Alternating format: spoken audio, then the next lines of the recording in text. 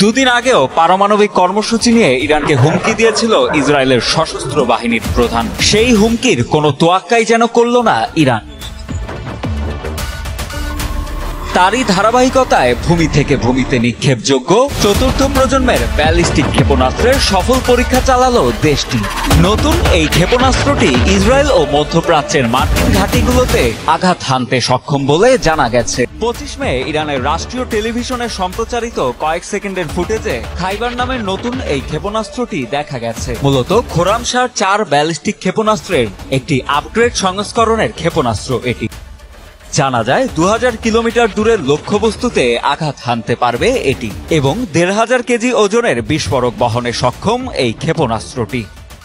এদিকে, সম্প্রতি মার্কিন যুক্তরাষ্ট্র এবং তার মিত্রদের বিরোধিতা সত্ত্বেও নিজেদের প্রতিরক্ষামূলক ক্ষেপণাস্ত্র কর্মসূচি আরও উন্নত ও জোরদার করার ঘোষণা দিয়েছে ইরান।